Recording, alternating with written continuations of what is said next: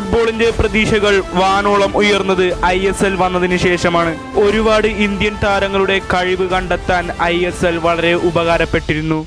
ഇതുവരെ ഫിഫ റാങ്കിങ്ങിൽ ഇന്ത്യ തൊണ്ണൂറ്റിയെട്ടാം സ്ഥാനത്ത് നിൽക്കുന്നതിൽ ഐ എസ് എൽ നിർണായക പങ്കാണ് വഹിച്ചിട്ടുള്ളത്. പക്ഷേ നമ്മൾ മലയാളികളുടെ സ്വപ്നം പൂവണിഞ്ഞത് ബ്ലാസ്റ്റേഴ്സ് വന്നതോടെയാണ്. തുടക്കം ഇത് വെറും കൊച്ചു ടീമായിരുന്നു. പക്ഷേ നമ്മൾ അറിഞ്ഞിരുന്നില്ല ഈ ഒരു ക്ലബ്ബ് നമ്മുടെ മനസ്സിലേക്ക് ചവിട്ടി കയറുകയായിരുന്നു എന്ന്. പിന്നെ ബ്ലാസ്റ്റേഴ്സ് മനസ്സിനകത്തൊരു വലിയ വികാരമായി മാറി. സച്ചിൻ ഏറ്റെടുത്ത ബ്ലാസ്റ്റേഴ്സ് രണ്ടായിരത്തി പതിനാല് ഒക്ടോബറിൽ ഇന്ദിരാഗാന്ധി അത്ലറ്റിക് സ്റ്റേഡിയത്തിൽ നോർത്ത് ഈസ്റ്റിനെതിരെ ആദ്യ പരാജയം നേരിടുകയുണ്ടായി. പക്ഷേ പരാജയം വിജയത്തിന്റെ പ്രതീകമാണ് എന്ന് അർത്ഥമാക്കുന്ന പ്രകടനമാണ് പിന്നെ ഓരോ മത്സരങ്ങളും. കാലാഗ്രഹത്താൽ ബ്ലാസ്റ്റേഴ്സിന്റെ സ്വപ്നങ്ങൾ പെയ്തു പിറക്കിയ മത്സരങ്ങൾ. അന്ന് ബ്ലാസ്റ്റേഴ്സിന് വേണ്ടി ചങ്ക് പറിച്ച് കളിക്കുന്ന ഒരുപാട് താരങ്ങളുണ്ടായിരുന്നു. Stephen Pearson Iain Hume David James Sandip Nandy Colin Falvey Sandesh Jhingan Cedric Hengbart Sushant Mathew Penn Orji Ishfaq Ahmed Victor Pulga Michael Chopra Pedro Gusmao C S Amit അന്ന് സെമി ഫൈനലിൽ ചെന്നൈക്കെതിരെ സ്റ്റീഫൻ പിയേഴ്സൺ കണ്ടെത്തിയ goal. അതങ്ങനെ പെട്ടെന്നൊന്നും നമ്മുടെ മനസ്സിൽ നിന്ന് മായ്ച്ചു കളയാൻ പറ്റില്ല. പക്ഷേ നിർഭാഗ്യമെന്ന് പറയാം. എ ടി കെക്കെതിരെ നമ്മളവിടെ ഫൈനലിൽ പരാജയപ്പെടുകയുണ്ടായി. രണ്ടായിരത്തി പതിനഞ്ച് സീസണിൽ പുതിയ ആത്മവിശ്വാസത്തോടെ പുതിയ താരങ്ങളെ കണ്ടെത്തുകയുണ്ടായി Kerala Blasters. Peter Ramage Bruno Perone Sanchez Watt തുടങ്ങിയ കുറേ താരങ്ങൾ നമ്മളെ മലയാളികളെ ഞെട്ടിച്ചത് ഈ ഒരു താരങ്ങളൊന്നുമല്ല. ജോസു കൊറിയാസ് പ്ലീറ്റോ. സുവർണ പൂക്കളെ സമ്മാനിച്ച കാലമേ. കേരള ബ്ലാസ്റ്റേഴ്സിന് വേണ്ടി സമ്മാനിച്ച മണിമുത്ത് ജോസു കൊറിയാസ്. മുമ്പത്തെ ബ്ലാസ്റ്റേഴ്സിന്റെ ആദ്യ സീസണിൽ നോർത്ത് ഈസ്റ്റിനെതിരെ പരാജയപ്പെട്ടെങ്കിലും അടുത്ത സീസണിലേക്ക് വരുമ്പോൾ ഒന്നിനെതിരെ മൂന്ന് ഗോൾ അടിച്ച് പരാജയപ്പെടുത്തുകയാണ് ചെയ്തത്. കാലമെത്ര പോയാലും പൂക്കൾ വിരിയാനുള്ളത് പൂക്കും. എന്നർത്ഥവത്താക്കുന്ന മത്സരങ്ങളായിരുന്നു കേരള ബ്ലാസ്റ്റേഴ്സ് അന്ന് കാഴ്ചവെച്ചത്. ഒമ്പത് മത്സരങ്ങളിൽ നിന്ന് ആറ് ഗോളുകൾ സ്കോർ ചെയ്ത മിന്നും താരം ദി അന്റോണിയോ ജെർമൻ. സുവർണ ലിപികളാൽ കൊത്തപ്പെട്ട കേരള ബ്ലാസ്റ്റേഴ്സ് അന്ന് നമ്മൾ പ്ലേ ഓഫ് കളിക്കാതെയാണ് പടിയിറങ്ങിയത്. ഇനി കോപ്പലാശാന്റെ വരവാണ് മൂന്നാം പതിപ്പിലേക്കുള്ള തയ്യാറെടുപ്പ്. അന്ന് സൈൻ ചെയ്ത മാർക്യു പ്ലെയർ ആരോൺ ഹ്യൂസ് അന്ന് ബ്ലാസ്റ്റേഴ്സ് ഒരുപാട് പ്രതിഭകളെ കണ്ടെത്തുകയുണ്ടായി. ടെക്കൻ സ്നൈസോൺ Mohammed Rafique Graham Stack Kervens Belfort എന്നിങ്ങനെ പുതിയ ഫോറിൻ താരങ്ങൾ കേരള ബ്ലാസ്റ്റേഴ്സിന്റെ നിരയിൽ കാലെടുത്തു വെക്കുന്നു. അന്നത്തെ ഐ എസ് എല്ലിലെ ഏറ്റവും മികച്ച ഡിഫൻസ് എന്ന് പറഞ്ഞാൽ അത് കേരള ബ്ലാസ്റ്റേഴ്സിന്റെ തന്നെ. Cedric Hengbart Aaron Hughes Sandesh Jhingan Josu Currais Prieto ഒരിക്കലും മറക്കാൻ പറ്റാത്ത സുവർണകാലം. ഒപ്പമൊപ്പം ഏറ്റുപിടിക്കാൻ ഡിഫൻസീവ് മിഡ്ഫീൽഡായി ദമേത്ത അവിടെയും ബ്ലാസ്റ്റേഴ്സിന്റെ കലാശക്കളിക്ക് വില്ലനായി വന്നതും കൊൽക്കത്ത തന്നെ. ഒന്ന് ഒന്ന് എന്ന നീണ്ട സ്കോർ ലൈനിൽ അവസാനം ടൈ ബ്രേക്കർ വില്ലനായി. പെനാൾട്ടി ഷൂട്ടൌട്ടിൽ കേരള ബ്ലാസ്റ്റേഴ്സിന്റെ കപ്പിനും ചുണ്ടിനും ഇടയ്ക്ക് വിട പറയുന്നു. അങ്ങനെ രണ്ടായിരത്തി പതിനേഴ് ഐ എസ് എൽ സീസൺ വന്നെത്തി. കഴിഞ്ഞ സീസണിലെ ഫൈനലിസ്റ്റ് എന്ന ആത്മവിശ്വാസത്തോടെയാണ് അവർ കളത്തിലിറങ്ങിയത്. മുൻ മാഞ്ചസ്റ്റർ യുണൈറ്റഡ് പരിശീലകൻ റെനെ മ്യൂലൻസ്റ്റീൻ ബെർബറ്റോ വെസ്റ്റ് അങ്ങനെ ഒട്ടനവധി പ്രതിഭാ താരങ്ങളെ കൊണ്ടുവരികയുണ്ടായി. പക്ഷേ നിർഭാഗ്യം റെനെ മ്യൂലൻസ്റ്റീൻ പാതി വഴിയിൽ കേരള ബ്ലാസ്റ്റേഴ്സിനെ ഉപേക്ഷിക്കുകയുണ്ടായി. അങ്ങനെ രണ്ട് ചിറകും വിരിച്ചുകൊണ്ട് കേരള ബ്ലാസ്റ്റേഴ്സിനെ കാത്തു സൂക്ഷിക്കാൻ വന്ന ഒറ്റ പേരാണ് ഡി ജെ ഡേവിഡ് ജെയിംസ്.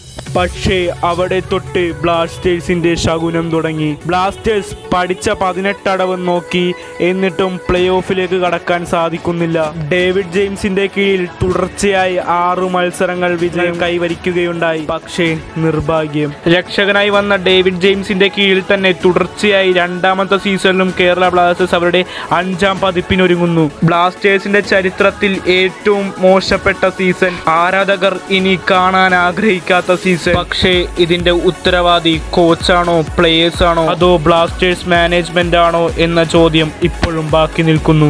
ആ ഒരു സീസണിൽ സ്ലോവേനിയയിൽ നിന്ന് വന്ന താരങ്ങളായിരുന്നു മെത്തേസ് പോപ്ലാൻ അതുപോലെ തന്നെ സ്ലാവിസ സ്റ്റോയാനോവിച്ച്. ഈ രണ്ട് ഫോറിൻ സ്ട്രൈക്കർമാരെ വെച്ചായിരുന്നു കേരള ബ്ലാസ്റ്റേഴ്സിന്റെ അരങ്ങേറ്റം. പക്ഷേ നിർഭാഗ്യം ബ്ലാസ്റ്റേഴ്സിന് പ്ലേ ഓഫ് കളിക്കാൻ പറ്റിയില്ല. പക്ഷേ ആറാം സീസണിലേക്ക് വരുമ്പോൾ പല തന്ത്രങ്ങളും പഠിച്ച ഒരു കോച്ചിനെ കൊണ്ടാണ് കേരള ബ്ലാസ്റ്റേഴ്സ് വരുന്നത്. അത് വേറെ ആരുമല്ല നമ്മുടെ സ്വന്തം എൽക്കോ ഷട്ടോരിയുടെ കീഴിൽ കേരള ബ്ലാസ്റ്റേഴ്സിന്റെ ചരിത്രത്തിൽ തന്നെ ഏറ്റവും അധികം ഗോളുകൾ കണ്ടെത്തിയ ഒരു സീസൺ എന്ന് പറഞ്ഞാൽ അത് ആറാം സീസൺ തന്നെ. നൂറടവുകൾ പഠിച്ചവനാണെന്ന് പറയുന്നവനെ ഭയപ്പെടണ്ട. പക്ഷേ പുറത്ത് കാണിക്കില്ലെങ്കിലും നിരന്തരം നൂറടവുകൾ പയറ്റുന്നവനെ ഭയക്കണം. ഈ ഒരു വാക്ക് അർത്ഥവ്യക്താക്കുന്ന പ്രകടനമായിരുന്നു കേരള ബ്ലാസ്റ്റേഴ്സ് അന്ന് കാഴ്ചവെച്ചത്. പക്ഷേ ബ്ലാസ്റ്റേഴ്സിന് പരിക്ക് വില്ലനായി വന്നു. കലികാല ശാപങ്ങൾ വിട്ടകലുന്നില്ല. കഴിഞ്ഞ ജന്മത്തിൽ ആരോ ചെയ്തു കൂട്ടിയ പാവം. ബ്ലാസ്റ്റേഴ്സിന്റെ ചരിത്രത്തിൽ ഏറ്റവും മികച്ച സീസൺ ഏതെന്ന് ചോദിച്ചാൽ അത് ആറാം സീസൺ തന്നെ ആയിക്കാരം. മൂന്നാം സീസൺ കഴിഞ്ഞ് ഉണ്ടാക്കിയെടുക്കാൻ പറ്റാത്ത ഇമ്പാക്റ്റ് ബ്ലാസ്റ്റേഴ്സ് ആറാം സീസണിൽ ഉണ്ടാക്കിയെടുത്തിരിക്കുന്നത്. അതുപോലെ തന്നെ എഴുതി കുറിക്കാൻ പറ്റിയ രണ്ട് മൂന്ന് റെക്കോർഡുകളും. മൂന്നാം സീസണിൽ എ ടി കെയോട് ഫൈനലിൽ പരാജയപ്പെട്ടതിന് ശേഷം എ ടി കെക്ക് കേരള ബ്ലാസ്റ്റേഴ്സിനെ ഇതുവരെ പരാജയപ്പെടുത്താൻ പറ്റിയിട്ടില്ല. അതുപോലെ തന്നെ ആറാം സീസണിൽ കേരള ബ്ലാസ്റ്റേഴ്സ് ബംഗളൂരു എഫ് സിയെ പരാജയപ്പെടുത്തുകയുണ്ടായി ഇതിനെല്ലാം ഒറ്റ തലവൻ എൽക്കോ ഷട്ടോരി. ഇനി ഏഴാം സീസണിൽ വരാൻ പോകുന്ന പൂരമൊന്നും പറഞ്ഞറിയിക്കണ്ടല്ലോ. മാന്ത്രിക പരിശീലകൻ എന്നറിയപ്പെടുന്ന കിബു വിക്കുനയുടെ കീഴിൽ കേരള ബ്ലാസ്റ്റേഴ്സ് ഏഴാം പതിപ്പിന് ഒരുങ്ങാൻ പോകുകയാണ്. ഇക്കഴിഞ്ഞ ആറ് സീസണുകളിലും എടുത്തു പറയേണ്ടതായ കുറച്ച് താരങ്ങളുണ്ട്. രണ്ടായിരത്തി പതിനാറ് രണ്ടായിരത്തി പതിനേഴ് സീസണിൽ ബ്ലാസ്റ്റേഴ്സിന് വേണ്ടി പതിനൊന്ന് ഗോളുകൾ കണ്ടെത്തിയ മലയാളി താരം സി കെ വിനീത്. ഓർമ്മയുടെ തീരങ്ങളിൽ നമ്മളെ പാറിപ്പറത്തിയ താരം സി കെ വിനീത്. അതുപോലെ തന്നെ കേരള ബ്ലാസ്റ്റേഴ്സിന്റെ അരങ്ങേറ്റ സീസൺ തൊട്ട് ആദ്യ മൂന്ന് സീസണുകളിലും കേരള ബ്ലാസ്റ്റേഴ്സിന്റെ ഒപ്പമുണ്ടായ ഒരു ഡിഫൻസീവ് മിഡ്ഫീൽഡർ ആയിരുന്നു the Hussain totally stunning killing midfielder physically challenged അതുപോലെ തന്നെ മണ്ണക്കാടുകൾ വാരിക്കോരി വാങ്ങിയ താരം മെഹ്താബ് ഹുസൈൻ. മലയാളികളുടെ മനസ്സിൽ നിന്ന് അങ്ങനെ പെട്ടെന്നൊന്നും മായ്ച്ചു കളയാൻ പറ്റാത്ത മറ്റൊരു താരമാണ് ജോസു കൊറിയ സ്പ്ലീറ്റോ മധ്യനിരയിലും ഡിഫൻസിലും ബ്ലാസ്റ്റേഴ്സിന്റെ എക്കാലത്തെയും മികച്ച താരം ജോസു കൊറിയ സ്പ്ലീറ്റോ ഒപ്പം തന്നെ കേരള ബ്ലാസ്റ്റേഴ്സിന്റെ ഏറ്റവും മികച്ച രണ്ട് centre ബാക്കുകൾ Aaron Hughes and Cedric Hengbart. മൂന്നാമത്തെ സീസണിൽ ഈ രണ്ട് താരങ്ങളുടെ പെർഫോമൻസ് കൊണ്ട് മാത്രം കേരള ബ്ലാസ്റ്റേഴ്സ് അന്ന് ഫൈനലിലേക്ക് ഏർപ്പെട്ടത്. കേരള ബ്ലാസ്റ്റേഴ്സിനെ വാനോളം വളർത്തിയ മൊട്ടത്തലയൻ ഹ്യൂമേട്ടൻ ഒരിക്കലും മറക്കാൻ പറ്റാത്ത മറ്റൊരു മിഥുനം. കാലങ്ങളുടെ നെല്ലിയാമ്പൽ കടന്ന് തനിക്ക് ഇനിയും കേരള ബ്ലാസ്റ്റേഴ്സിൽ കളിക്കണമെന്ന ആഗ്രഹത്തോടെ നാലാം സീസണിലും അവൻ തിരിച്ച് ബ്ലാസ്റ്റേഴ്സിലേക്ക് വന്ന താരമാണ് ഇയാൻ എഡ്വേഡ് ഹ്യൂം. പിന്നെ അടുത്തതായി പറയാൻ പോകുന്ന മറ്റൊരു സ്ട്രൈക്കർ ഇക്കഴിഞ്ഞ സീസണിലെ കേരള ബ്ലാസ്റ്റേഴ്സിന്റെ all time top scorer Bartholomew Ogbeche ഒറ്റ സീസൺ കൊണ്ട് തന്നെ കേരള ബ്ലാസ്റ്റേഴ്സിന്റെ ചരിത്രം മാറ്റിമറിച്ച താരം. പിന്നെ ഡ്രിബിളിങ്ങിലൂടെ കുതിച്ചു കയറുന്ന മറ്റൊരു കണ്ണിലുണ്ണി ദ കേവൻസ് ബെൽഫോർട്ട്. അങ്ങനെ പെട്ടെന്നൊന്നും മറന്നു കളയാൻ പറ്റാത്ത മറ്റൊരു താരമാണ് ബെൽഫോർട്ട് എന്ന കൊള്ളിയാശാൻ. ആ ഒരു സീസണിൽ ചങ്ക് പറിച്ച് കളിച്ച ഒരേ ഒരു താരം ആരെന്ന് ചോദിച്ചാൽ അത് തീർച്ചയായിട്ടും കേവൻസ് ബെൽഫോർട്ട് തന്നെ. ഇനി അവസാനമായി പറയാൻ പോകുന്ന ഒരു താരമുണ്ട്. തുടർച്ചയായി ബ്ലാസ്റ്റേഴ്സ് ഡിഫൻസ് കോട്ട ഭരിച്ച ഒരു ഇന്ത്യൻ താരമാണ്. The great wall of Indian football. Sandesh Jhingan ആദ്യ പരാജയം അഭിമുഖീകരിക്കാൻ ഒരിക്കലും ഭയക്കരുത്. കാരണം വിജയകരമായ കണക്ക് പോലും തുടങ്ങുന്നത് സീറോയിൽ നിന്നാണ്. യെസ് രണ്ടായിരത്തി പതിനാലിൽ മുടി നീട്ടി വളർത്തിയ ഒരു പയ്യൻ കേരള ബ്ലാസ്റ്റേഴ്സിന്റെ മണ്ണിൽ കാലെടുത്തു വെക്കുന്നു. അന്ന് കേരള ബ്ലാസ്റ്റേഴ്സിന്റെ കണ്ണിൽ പെടാതെ ഡിഫൻസ് ഭരിച്ചിരുന്ന ഒരൊറ്റ താരമായിരുന്നു സന്ദേശ് സിംഗൻ ഇന്ന് അവൻ വളർന്ന് പന്തലിച്ച് നിൽക്കുന്നത് ബ്ലാസ്റ്റേഴ്സ് ആരാധകരുടെ മനസ്സിനകത്താണ്. പക്ഷേ ഇനി നിർഭാഗ്യം ഇനി ജിങ്കൻ ബ്ലാസ്റ്റേഴ്സിലില്ല. നൂറുകണക്കിന് ഓർമ്മകൾ സമ്മാനിച്ച് അവൻ കേരള ബ്ലാസ്റ്റേഴ്സിൽ നിന്ന് പടിയിറങ്ങിക്കഴിഞ്ഞു ഇനിയെല്ലാം നല്ലതിന് എന്ന് കരുതി നമുക്ക് സമാധാനിക്കാം. ഇത് വെറും ഒരു പാർട്ട് വൺ വീഡിയോ മാത്രം. കുറേയധികം താരങ്ങളെ ഉൾപ്പെടുത്താതെ നമ്മൾ വെച്ചിട്ടുണ്ട്. അപ്പോൾ ഇതിന് തുടർച്ചയായി നമ്മൾ പാർട്ട് ടു വീഡിയോ ചെയ്യുന്നതായിരിക്കും.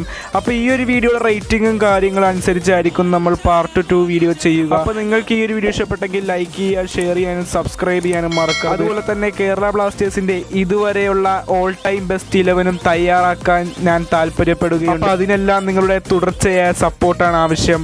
അപ്പോൾ നിങ്ങളൊന്ന് തീർച്ചയായിട്ടും ഈ വീഡിയോ എല്ലാവർക്കും ഷെയർ ചെയ്തെത്തിക്കുക. സോ മറ്റൊരു ദിവസം വരുമ്പോഴത്തേക്കും ബൈ